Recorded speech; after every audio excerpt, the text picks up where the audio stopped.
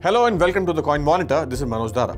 So, with markets sliding and inflation plaguing the global economy, losses and layoffs mounted in the crypto industry. The recent string of high-profile blowups and also exacerbated the sentiment. That's what that's the reason why cryptocurrency markets are trading lower. So, Bitcoin slid further below twenty thousand dollars, and Ethereum flirted with the one thousand dollar mark, tracking the U.S. stocks that are set to open lower again amid the usual anxiety around the higher inflation and higher interest rates which was hardly eased by comments from Fed Chairman Jerome Powell and other central bank chiefs on Wednesday. So Dow Jones futures were pointing towards a 382 points lower or 1.2% down, while S&P 500 futures were hinting towards a downward of 1.5% and Nasdaq 100 futures were down by 1.8%. So S&P is on the course out its worst first half of the year since 1970. So this is actually a big news which everyone has to keep in development. So market were hindered after the Securities and Ex Exchange Commission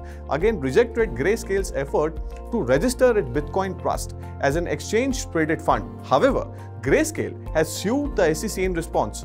And so what does this news mean for, uh, for the market? We will explain you. An ETF, which is which have set a precedent that could have greatly expanded the potential investor base for both the trust and crypto investment funds, provided support to an unabated selling at a time when cryptocurrencies market which is continued to struggle as investors turned cautious over mounting defaults of companies. So the market is currently seeing the downturn of massive unsustainable business models, but many crypto entities are yet to unravel. So this is coming, this word is coming from uh, FTX CEO Sam Bankman-Fried, which you have already highlighted yesterday as well. So he claimed that there are several, still several third-tier exchanges that are insolvent, but have not yet exposed, suggesting more instability may transfer going forward as well. So with Bitcoin mining becoming less profitable and revenue declining sharply, many publicly traded industry giants sold more Bitcoin than they generated last month expecting an even bigger sell-off. That's what he's expecting. And Sam Bankman-Fried has also revealed that he's keeping a close watch on Bitcoin miners. We have been uh, we have been talking about this news since yesterday. So crude oil prices drifted ahead of a meeting of OPEC and its allies that it widely expect to be a formality paving the way for an increase in the output of, uh, of which is uh, roughly around 6,48,000 barrels a day from August. So Bitcoin, the world's biggest cryptocurrency, was trading lower by 4.5% and it was trading at 19,061 level. Ethereum too fell by 8.6% to trade at 1,018 level. So keep an eye on this news. Uh, in a related news, crypto derivative exchange DYDX announced that it will be abandoning the Ethereum ecosystem and launching its own blockchain in the Cosmos ecosystem the new chain plans to replace DYDX's current platform that is built on StarkWare on Ethereum scaling solution platform that makes use of ZK rollup technology which allows for cheap and quick transaction. So that's the news coming in from the Ethereum world. So IC15 index of cryptocurrencies was down 6.3% and was trading at 25,144 points. So Binance BNB was down 4.6% and it was trading at 208 levels. Polygon Matic fell 18% and it was trading at $0.43.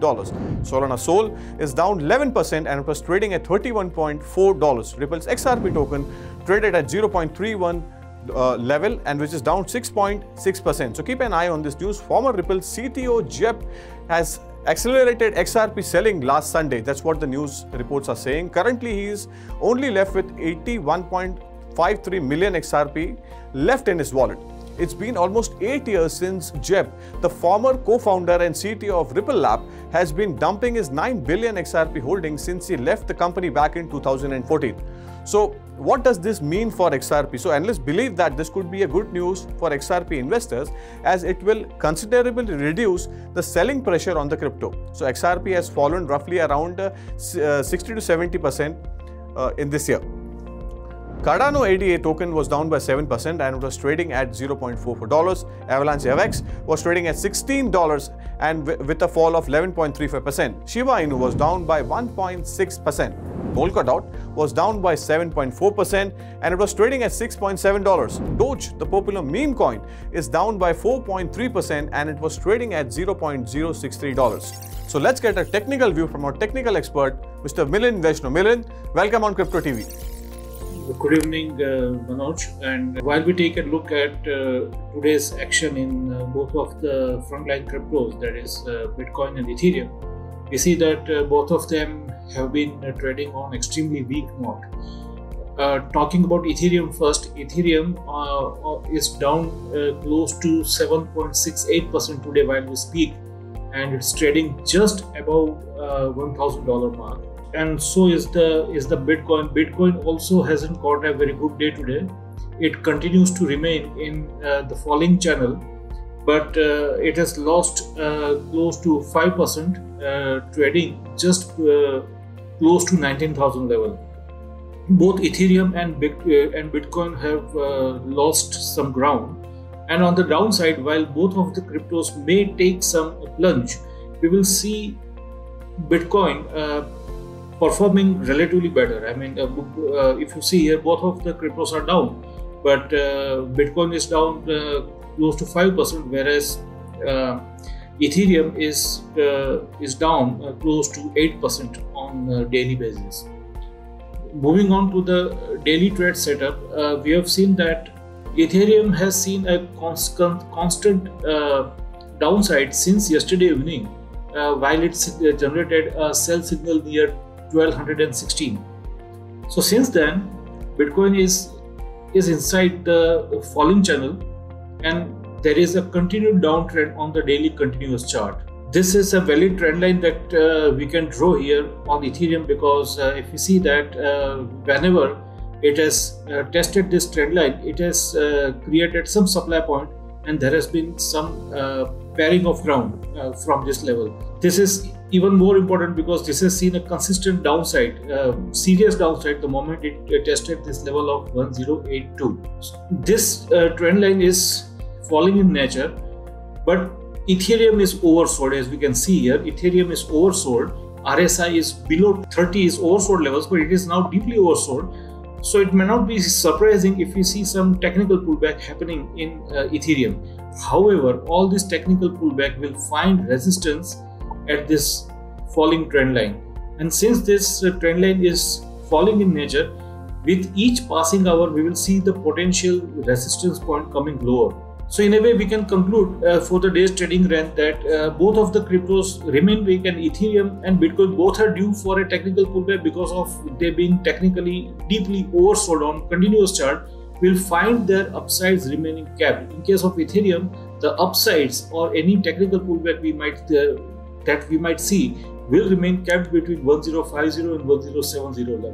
Broadly speaking, Ethereum remains weak and all, all um, upside uh, should be best used to create short position with adequate uh, stop losses in place. Similar is the case with Bitcoin. This is the continuous chart of Bitcoin. Just like Ethereum, as we can see here, uh, RSI is below 30 and it is in the oversold zone.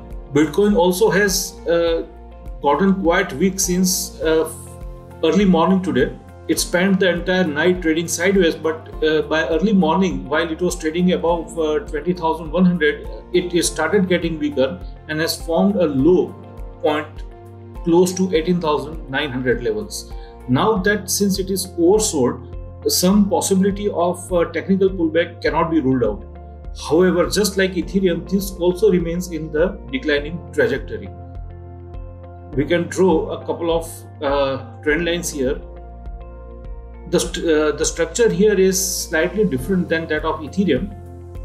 It's little bit more resilient. However, 19,700 was the major support that Bitcoin violated on the on the downside.